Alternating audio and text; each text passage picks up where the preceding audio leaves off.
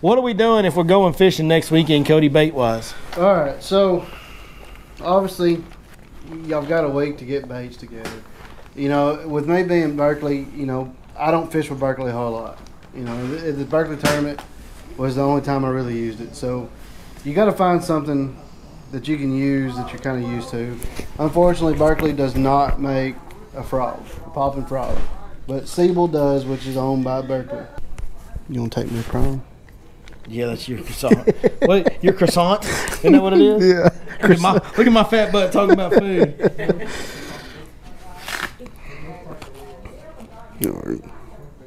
Yeah, all right, we're good. But uh, this is a Sebile prop, popping frog. It's called a pivot frog. Pivot frog, yeah. Um, you can pick these up online. I you can't find them anywhere in the store. So if you want to get a frog, so you can work a frog in some grass, maybe I'd order them today. That way you can have them by then. Um, but first thing in the morning, that's what I'm going to be doing. I'm going to be throwing top water in the grass areas that he's talking about. I'm not going to hit the docks first thing in the morning. Daylight, it's all top water. Uh, I'm going to throw these little Sebile frogs. I'm going to throw their little walking uh, spook bait they got. Um, uh, Whopper Plopper, I, which I didn't bring those because y'all, yeah, y'all pretty much what they call it. Choppo? Choppo, yeah. Berkley Choppo, yeah. Um, and and they got a little pop R, uh, like a little yellow magic kind of. Uh, that's what I'm going to be throwing first thing in the morning on those. But like I said, Sebile, uh, pivot frog. All right.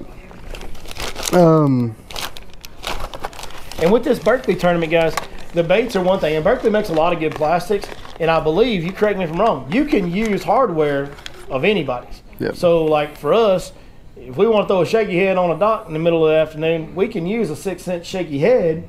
We just can't use a Six Sense worm. We got to put a Berkley straight tail worm on there, which they have. The Berkley flat worm is like a really good drop shot worm. It's the hottest one in the world, really. right. And I've got some of that stuff in here. All right. So this right here, this oh, time of year, this is Berkley. You cannot find these anywhere in the stores. You'll have to order these online too. He's got one for sale.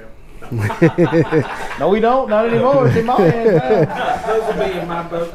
Yeah, those will probably be in his boat. But with them chasing shad, That is this- awesome, dude. This is gonna be a good thing. I didn't get these in last year in time. It was after the dang tournament, but um, Oh, that looks like a money winner. You'll catch all the unders you want to on that dude right yeah. there. So I'd go find one of these if I was y'all. They may not be out there no more, and uh, you may talk to Vic. I mean, I own these. But you know, I'll I'll give him a percentage if y'all buy them from him. No, so I'm kidding. We're gonna make some sales here tonight, yeah. Money does talk, right? Uh, oh, He is having another baby. Uh, one other thing for the top water bite in the morning. Well, I can't find the dang. Is these little ribbit frogs. Yeah. Uh, they Berkley makes a hook for those. It's in here somewhere. This is called here they are, right here. the beaten paddle frog. Boy, that is a great name. Oh my goodness. you gotta be kidding me. Beaten paddle frog is what they call it. That's on my Berkley. Yes, It's a sir. Berkeley bait. It's power bait frog, the beaten paddle frog. And you can get those right downstairs. Yeah. So we're the, the two videos we're putting out next week. On Monday, you guys are gonna see a video where I walk through every scenario that I've been fishing on the lake on guide trips, and I show you in detail how we're fishing the area, what the area is, baits we're using, all that good stuff. Um, and then on Wednesday, I'm actually gonna film. I haven't done yet. I'm gonna film a shopping spree video here in Lake Fork Marina, where I go through Lake Fork Marina and go, if I'm fishing Berkley, these are the baits we're gonna buy. So we got more content like this to really help everybody get ready for Berkley over this whole week coming up. So. And these are the hooks. They're just a, a split hook with a um. I can't think what them uh, twist twist locks. They don't. They're not weighted because it's a topwater deal. It, Yep. But this is a Berkley Fusion frog hook. Yep. That's what it's called. It's Berkley Fusion frog hook. You can use a ribbon hook. You can you can use whatever hook you want Yeah. to Yeah, by their rules. You can use hardware like you can use any terminal tackle. you can use a spinner bait or a chatter bait from somebody else. But you got to put a Berkley skirt on it and a Berkley plastic. Take the original off. Yeah. All right, I'm about to show you that. All right. They usually sell them in the tent here Yeah. for the event. So when you register for Berkley, They'll have- they'll have stuff there that you can buy, and they'll have skirts usually. Because I think a lot of people do that with jigs and spinner baits, swim jig, whatever. But a lot of times they are out of the skirts. So they have this, it's called a skirted grass pig, and all it is is a swim bait with a skirt on it. All right. And I guess you're allowed to cut those off, like on a double dose, you know, stuff like Mm-hmm. that. Interesting. That looks like I'd tear that apart in one second.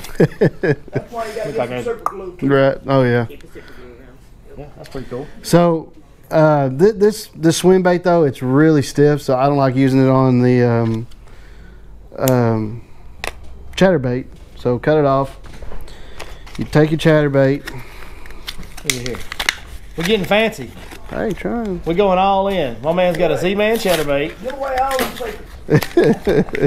but I would not recommend doing this with a jackhammer because that's what, quite expensive. yeah. So you just rip that skirt off, which you, you save the skirt, you can put it back on. It ain't gonna hurt it none. But and then you just thread that in there. Wrong way hand. Oh, it is wrong way. Thanks, sir. You nervous? From No, no, I ain't nervous. I'm blind. You know what I don't understand? We've been fishing a lipless crankbait a lot here lately. Hey, fish will come up and hit that lipless crankbait, not get hooked up. Dude, I can't tie the knot on that thing without getting hooked. But a fish will come up there and hit it and pull your rod down and not get up. What in the They, hell? they special. Yeah. Yeah, they did They will time. sometimes, man. I- And you know, I would say they're just nose bumping or something. Y'all foul hook them.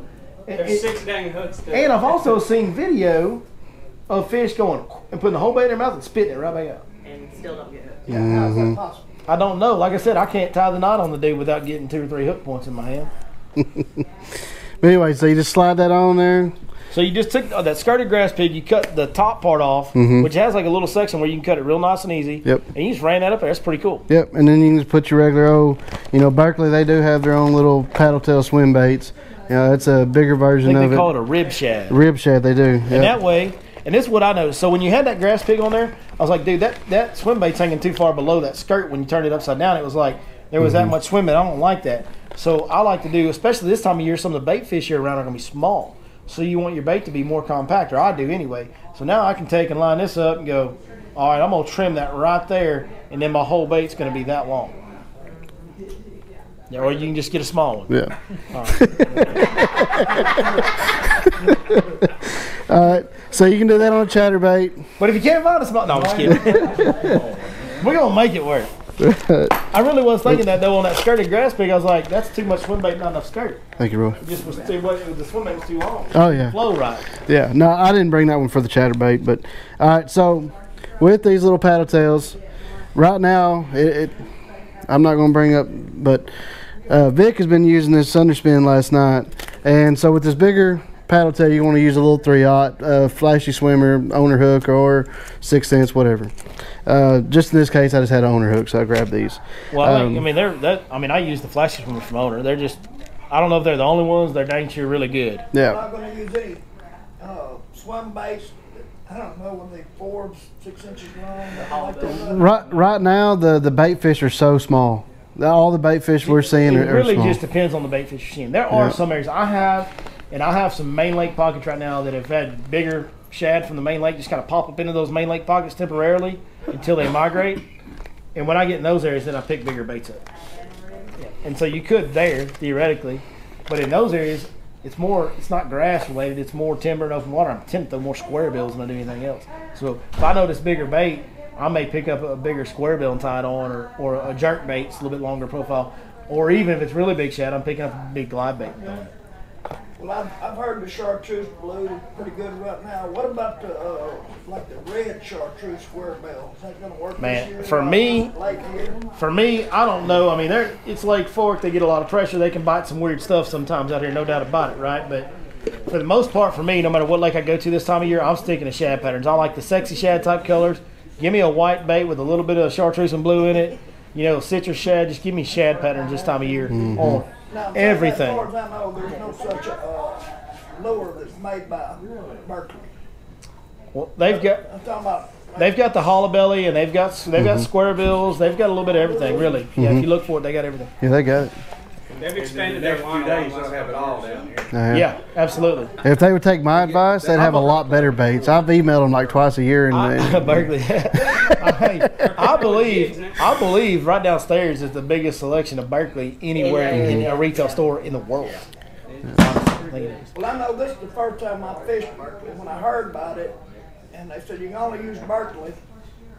Well, I use a crawfish and a worm, and Yeah. It, huh? Yeah, we got a chigger crawl and a power worm. Uh, they've got so Right? Like, much that's more the two now. best things they've made for years. but and also it's it's pure fishing, right? It's not that's the thing that's a little bit confusing. It's pure fishing, which is not just Berkley. And I don't even know what all the brands are. I think it's Sebile. Is it Booyah? Uh, not Booyah, Booyah. but no Bill Johnson. Johnson. Sebile, Johnson. Uh, I know you can go to heard the of. you can go to the pure fishing. You can go to the yeah. But you can go to the pure fishing Fish website. Old school Johnson spoon here lately. I was about to say you can buy the little grass spoon like it- like you know with the hook instead of the treble hook, uh, and it's about I mean it's perfect size for these shad Oh, right know. now. I've been So catching fish on them lately. Yeah, that old Johnson swimming spoon ain't no joke. no, it's not. get. But um, but you know, like he said, shad pattern. So I, I'm always throwing something shad pattern this time of year too. So get your little one aught flashy swimmer for this size, uh, because this is pretty close to the size of the shad that are swimming right now that they're that they're chasing. Mostly. Mostly. So There is some excitement. I don't mean to override you. No, but no, you There are times when you're gonna, when you see a bigger shad pop out, you need to upsize your baits because Yep. they're keying in. You know, when you're when you're selecting baits, um, size profile might be the most important thing you can get right. Right? I mean, to me, in my opinion, it might be. I mean, color's the least important. You know, size profile, and then depth and speed of presentation, and then color. Like the size is so important to get right. If fish are eating shad that long, and you're throwing them something like this, they're not going to pass up this for this. At the same time, if they're focused on this, and there ain't none of this around, they're keyed into that. They're not going to even look at that. So the size profile is real important. That might have been where I messed up. I just ordered a eighteen dollar Choppo. It's like the four and three quarter. Well, that's okay. I mean, it's, I mean, the Choppo is top water bait. It's more reactive. I mean, I probably would throw the smaller Choppos in this event unless I was seeing the bigger bait. I really Yeah. would. But it doesn't mean that you're not going to have. The thing about that Choppo is you could have a giant roll up on that on any stretch of bank out here right now. You don't know because they're moving. They're all over the place so much. Um, it's you know if you want to go try to target a big one and over, throwing a Choppo for the first hour or two of the day ain't a bad idea, and it's a good idea. That, that's what I had. You're gambling though. It's like everything with big bait fishing. Like when you're trying to target a 24 inch fish, you are rolling the dice. I mean, nobody catches overs out here every day. Nobody catches them every week, right? There's every guy on the lake goes multiple weeks without catching overs. Yeah, and a bit like he's talking about the size, it make a world of difference. I'll just give you an example. Last night, wasn't it last night, Vic? Yeah, last night, I was throwing a 1.5 square bill. He was throwing a little tiny thing, and he was catching more fish than I was. Same colors, just different size profile, and that that is proof in the pudding. You know, Hey, I, I won a, uh, a working man's tournament. This has been years and years and years ago, but I won a summertime working man's tournament where it was daylight for most of the tournament because you know how that is, and sometimes it's daylight till nine o'clock. hmm But you could see these fish. I was around good fish. I mean, you could see them chasing bait on the surface, and they were getting after it, blowing up on them little mini pops of schooling activity. And- man, I was throwing everything I could think at them, and I couldn't catch nothing. Everybody's been around schooling fish they can't catch, right? Well, some of these schools of shad go by my boat, and they are just the smallest. I mean, they're big groups of them, but they're just the smallest little shad. And I just couldn't find anything small enough. Like, you know, I couldn't find anything that was near that small. Well, I finally, as I'm digging through my storage in my boat, trying to find something smaller, so I can't think of nothing, whatever.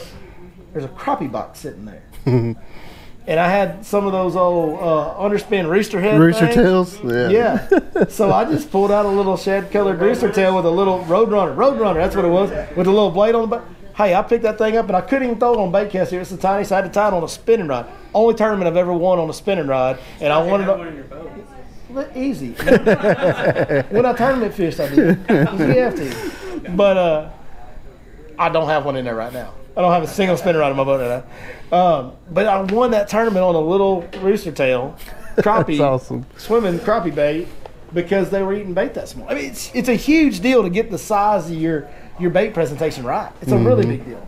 Yep. That's the craziest thing. I mean, I've caught oh, at least six, seven pound bass on H and H, and I have caught a fish on a on a bait. The fish wasn't as big as the bait. Yeah. That- Well, they're really dumb. Like they do dumb things for dumb reasons all the time. Yeah. I've also said this a lot. Have you ever eaten a metal hot dog or a plastic hamburger? like ty- took a bite out of it and tried to swallow it. We, you know, nobody I know has ever done that. Well, they do it every day, or we wouldn't be here. Like that, they're dumb, so they're going to do things that we don't understand all the time. Look at this Um, little dude. What is this? This is a Berkley little square bill. What, thi- dude? I could have used this in that tournament. It looked a lot cooler than throwing that dang rooster tail. Look at that little dude. A 38 fat dog floating shallow diver. How about that? What, dude? How old are these baits? This packaging look like it's from 1985. Okay, we need to pass that From around. down- Pretty much hey, how That's from stuff works. downstairs. I know that. That's pretty much how Berkley works. You get it and you just Yeah. Um, That's a really cool little deal right there. then I had a bunch more of them. I, I didn't want them. I just put them in a yellow magic case because I didn't want them getting all hung up in here. Well, I don't know. I think But- you may have just disqualified those baits from the tournament because they went into a yellow magic case. oh man, So it's not a Berkley case. You can't use it anymore. good thing I ain't using them. You think you ain't missing a Berkley, huh? Vicky can't even borrow now.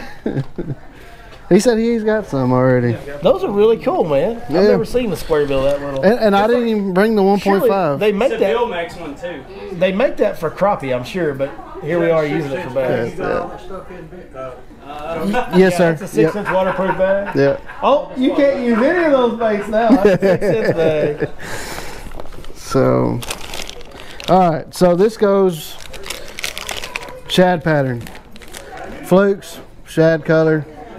All right, weightless Carolina rig, Called it a power jerk shad. power jerk shad. Yep. So, like said, we're gonna be throwing shad colors.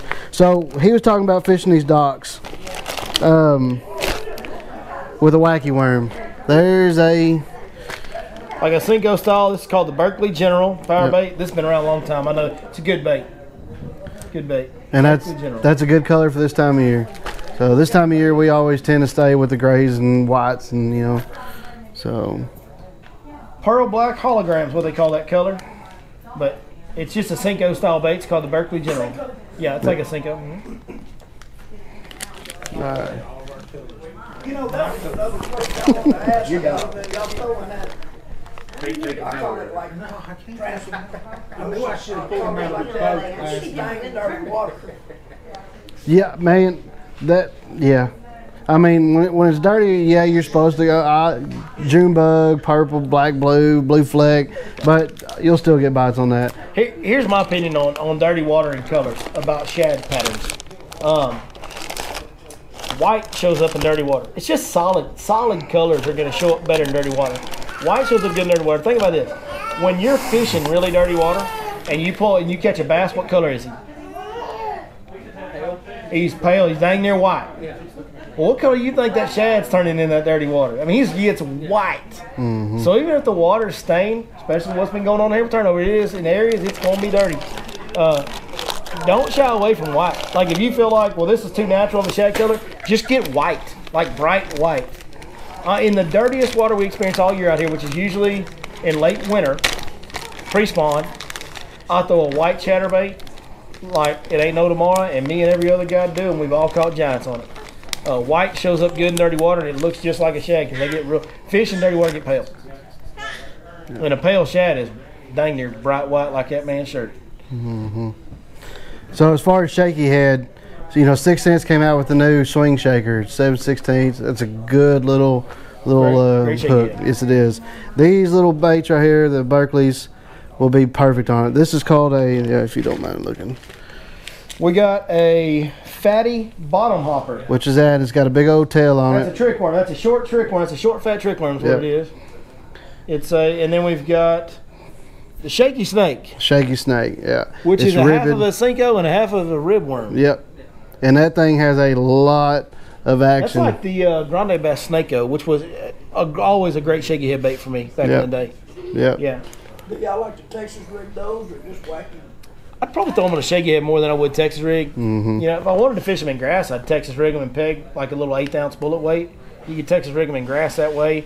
Like if you get in that grass and they're just not really chasing shad that day, hey, that ain't a bad idea to take one of those and put it on a light Texas rig. But for all this dock fishing and stuff we're talking about, shaky head's gonna be a better presentation, I think. Yeah. That shaky snake, if you were pegging and fishing in grass, that tail would flutter. Yeah. Mm-hmm. I mean, any any straight tail worm can work on a Texas rig. It's just they work better on a stand up head, unless you have to fish something different because the vegetation or whatever you're fishing is just too dense. Right. All right, and then last, can never go wrong with the eight and a half inch, seven inch, ten inch, twelve inch Berkley Blue Fleck Power Worm. Berkley Blue Fleck Power. In fact, this Bass Champs has been running this Berkley tournament out here for I don't know how many years, and I'd be willing to bet that a Blue Fleck Power Worm has won more of them than anything else. And yeah. Uh, I noticed, uh, uh, crawfish on the bank here. Mm-hmm. Most of the day, Mm-hmm. Yeah. They do that this time of year. When the water starts cooling off, they get they come out of the deep, they get real shallow. Because the only place they can get away from bass is out of the water. And so they'll get up in those those flooded mats like pondweed, which now the lake's just about two foot low, getting close to two foot low now. There's not those flooded pond pondweed shoreline mats ain't just everywhere you go anymore like they were earlier in the year. Uh, but those crawfish love to get up in that stuff to get away from bass, and they, no, they will. They'll get at times all the way on the bank. Usually, if you got crawfish and you're seeing on the bank, that means there's bass feeding on them crawfish in that area. They don't want to be out there in 90 degree sunshine. Crawfish don't like heat. They want to be in the water. Uh, they're up there because they're getting chased after. So uh, we are throwing a jig right now. I want to be throwing the finesse jig, the smaller profile finesse jigs. Honestly, we're getting better bites on a little 3 8 ounce hybrid jig with a fuller skirt. And we're still taking the regular stroker crawl and trimming it down, making it real short and compact. Um, but they're just not biting the finesse jig with the baby stroker crawl as good as they are like a 3 8 ounce jig. And just a green and brown skirt on the jig. Crawfish this time of year, and most of the year out here, our crayfish are colored green and brown. Like a green pumpkin, pumpkin seed, green pumpkin orange. That type of color is what most of the crayfish out here look like most of the year. Now, they get black, black, black, blacker in the winter, and then they get some red in them come pre-spawn, early spring. When they start spawning, they get red in them. But most of the year, they're green pumpkin and pumpkin seed color. Um, and one thing is we go small profile because the young of the year crawfish, the crawfish that were born this year, spring and summer, they buried up in mud holes out deep all summer. They come out and go to the bank in the fall. Well, they're little bitty. They don't have hardened shells, and their claws aren't all the way developed. So if you can imagine being a bass, and now you got me a little protein packed snack that has no hard shell and no claws. That's just easy pickings for a bass. And they do at times key in on those in the fall. And that little green and brown jig has been, it does it. I mean, that green and brown jig has caught fish for me every year in the fall. I mean, every single year out here. And it's something that not a lot, and we're talking about fishing at shallow now, like in a foot of water. yeah. Like just take a little small profile jig and pitch it around any cover you can in a foot of water, two foot of water, whatever. Uh, and we catch fish on that every year. And I don't think a lot of people are fishing a jig like that in October, November. But it works. It really works. You know, I was seeing this video about crawfish. Uh, this guy, he kept one, he got one, put it in a fish tank. All right, just fish tank with rock, nothing else in it. The fish started turning green, brown, bluish color, which is what would be in the wintertime. All right, so to come in spring where the grass is starting to grow back up in summer, he introduced grass into this tank, and the the crawfish started turning into the red and oranges color more because he's. They did a study that that grass, that crawfish is getting the proteins off that grass, and that's what's making him change the colors. So, Yeah. So- Crawfish love grass. That's their favorite thing to be around. That's that's another article I read on crawfish years ago. Was a guy that was a professional Bassmaster Elite Series guy. Dennis Tietje. Tietje, yeah, yeah. He uh, he worked at a crawfish farm in Louisiana. And he said when they had crawfish in tanks or whatever, if they had wood, rock, grass, they always went to the grass. Them crawfish love grass more than anything else. So people think of crawfish being around wood and rocks up shallow. No, they're gonna be in that grass. That's what most people think. Oh, rocks, crawfish. No, it's grass. They love grass most. In fact, those if you if you pay real close attention in the springtime, uh, those pondweed mats and gator grass mats, and when they start getting blooming up and getting thick, get close to one of those mats and turn everything off and listen. You will hear little clicks, little clicks. Those are crawfish moving around in that grass, clicking their claws, or whatever they do to click. I don't know what they use to make that noise, but they click. the tails. It's real faint. I mean, real faint sound, That's but it's click, click. Hmm? That's out for me. Can't hear? Okay. well, I pro- I'm tell you, I, Well, it's out for you too. I feel like this year I've been losing my hearing. Like man, like especially here lately. Like I, I don't think I'll be able to hear nothing here another year. It's it's fading on me. One thing also keep um keep an eye on your live well after you catch a fish in the area. Because a lot of times the fish will regurgitate what it is, and you can see what they're eating and kind of Yeah. pick your bait from that. Yeah, So, absolutely, absolutely. Any questions? It's been a long one tonight. We did a good one. I think it was good. I I think that was a good discussion. Covered a lot of good stuff. So, hey, thank you guys so much for coming, Cody. Hey. Thank you for joining us as Thank you, always. Want to send a big shout out to Lake Fork Marina. Y'all go down there, buy you some Berkley baits for next week. Uh, buy some Six Sense baits if you want to support the Six Sense Texas brand. Whatever you do, go buy something from Lake Fork Marina because they do an awesome job letting us take over every two weeks. And we'll be right back here in two weeks, and we'll see y'all then. Thank y'all.